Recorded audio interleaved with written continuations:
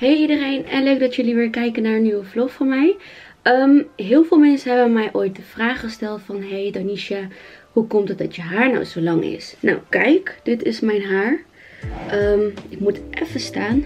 Dus ik had zoiets van, hey, ik maak er een video over. En dan laat ik jullie zien wat voor producten ik allemaal heb gebruikt. En hoe dat ik mijn haar zo lang heb laten groeien.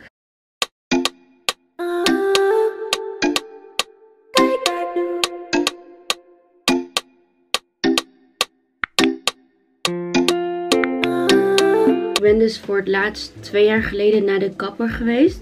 En toen was mijn haar ongeveer tot hier. Nee, dat meen ik echt. Tot hier. Ik moet even iets mededelen. I cut my hair! Please, look at my hair.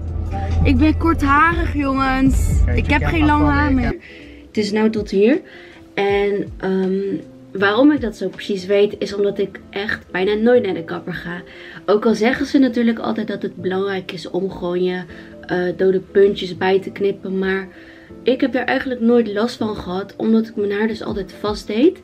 En daar ga ik jullie straks meer over vertellen. Dus mijn haar gewoon bijna tot over mijn billen. Dus ik dacht, hoe leuk is het om te vertellen uh, wat voor producten ik gebruik en hoe dat ik het zo lang heb laten groeien. Zoals jullie zien is mijn haar helemaal niet in model. Ik kom net uit de douche, dus het is toch best wel nat. Hm, ik ga jullie vertellen hoe ik mijn haar was en hoe vaak ik dat doe en wat ik daarvoor gebruik. Wat als eerst heel belangrijk is, is om je haar af te spoelen met koud water.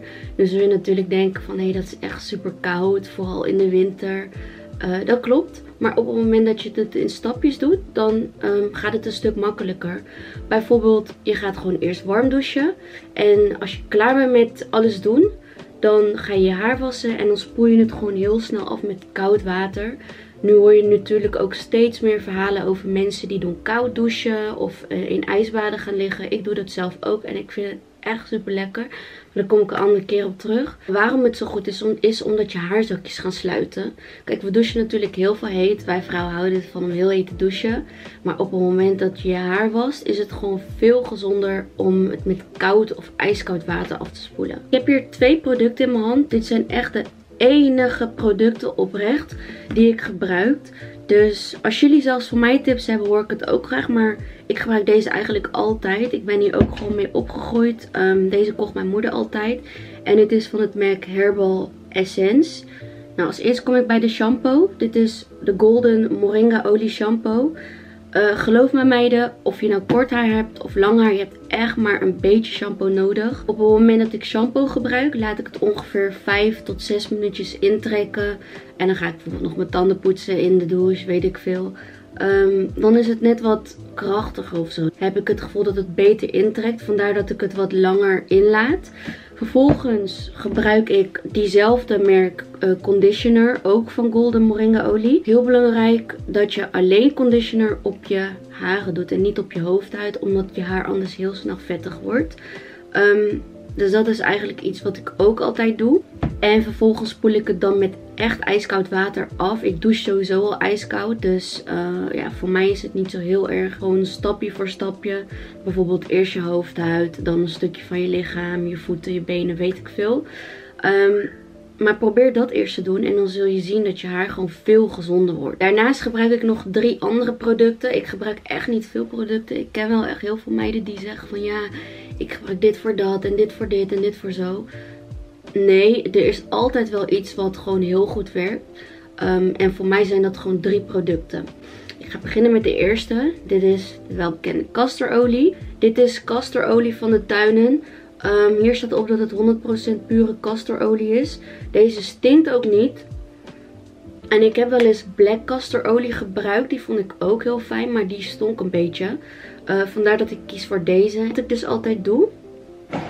Kijk, jullie zullen echt denken van kapot vies. Maar geloof mij, is the real, real journey. Wat ik doe, ik pak gewoon letterlijk het flesje. En dan doe ik het zo. Oh, kut. Nee, nee, nee. Ik heb mijn haar net gewassen. Ik heb mijn haar net gewassen. Oké. Oké, we gaan verder.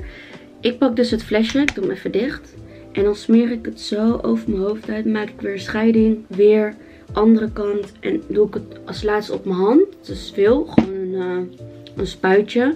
Smeer ik het uit op mijn handen en dan ga ik een beetje mijn hoofdhuid masseren. Je hoeft het natuurlijk niet elke dag te doen, maar als je dit gewoon twee keer per week doet en je wast aan het eind van de week gewoon je haren, dus één keer per week, dan weet ik zeker dat je hoofdhuid gewoon een stukje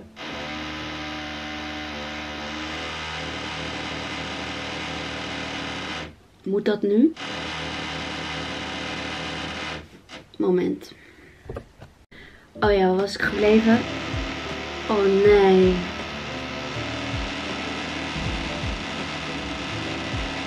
Stop!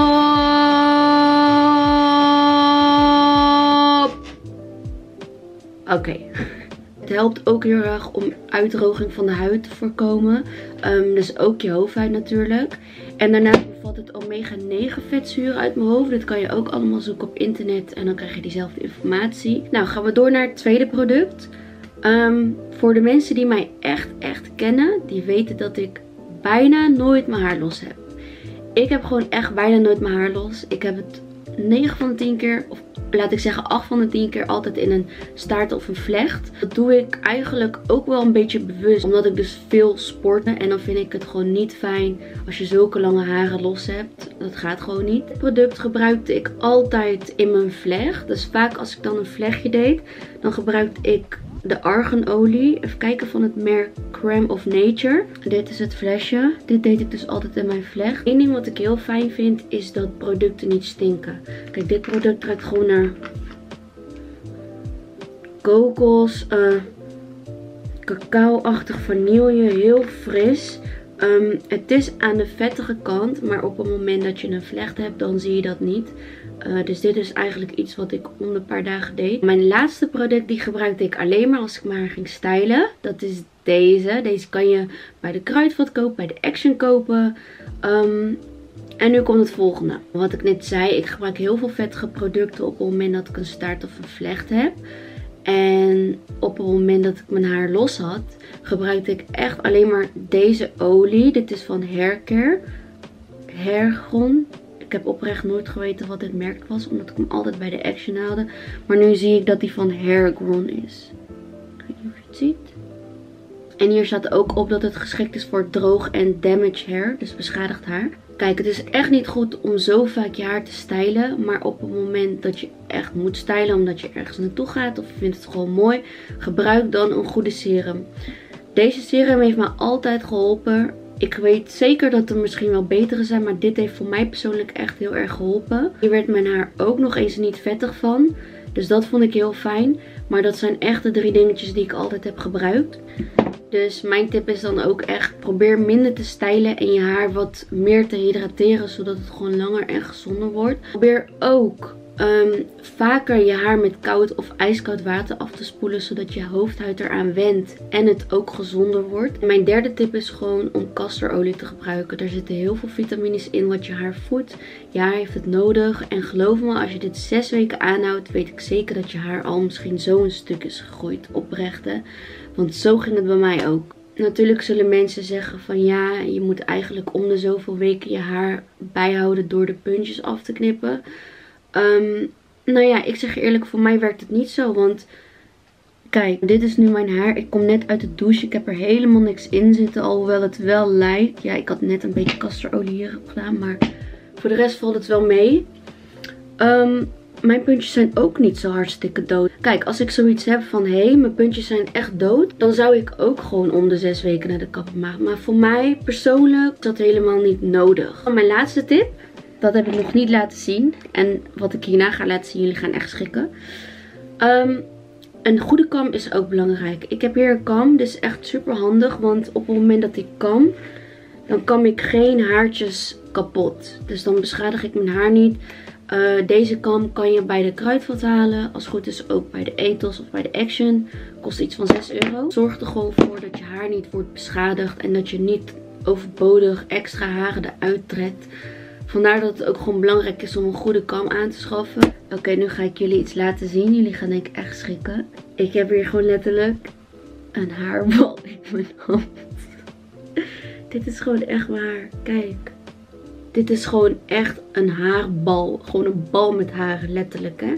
Ik ga jullie even toelichten waarom, voordat jullie denken van, hoe kan dit? Nou, ja, ja, stel je voor, ik had een vlecht en ik had een hele lange dag gehad. Dan ging ik gewoon slapen met mijn vlecht. Dus ik deed dan wel mijn elastiek los, maar die vlecht die liet ik er gewoon in. Ehm, en dan ging het de volgende dag weer zo. Dus dan pas ging ik mijn haar kammen. En weer diezelfde vlecht. Weer dezelfde producten. Maar ik ging gewoon mijn haar niet kammen. Dus na drie dagen ging ik dus wel mijn haar kammen. En besef, dit kwam er gewoon uit. Dit is gewoon oprecht. Gewoon echt veel haar. Hè. Dit is gewoon echt veel haar. Dus dit wil je niet. Ja, oh ja, oh ja. Allerlaatste tip. Niet te vaak je haar verven. Je haar bleken met wat voor middelen dan ook. Want het is echt super, super slecht. Dus probeer dat te kappen of te minderen. Want het is helemaal niet goed. Gebruik gewoon sowieso deze twee producten. En bij het stylen deze. Kan je gewoon bij de Action halen of bij de Kruidvat. Weet ik veel. Maar probeer je haar gewoon echt te hydrateren. Want je zult merken dat je binnen zes weken gewoon verschil ziet. Hoe lang mijn haar is.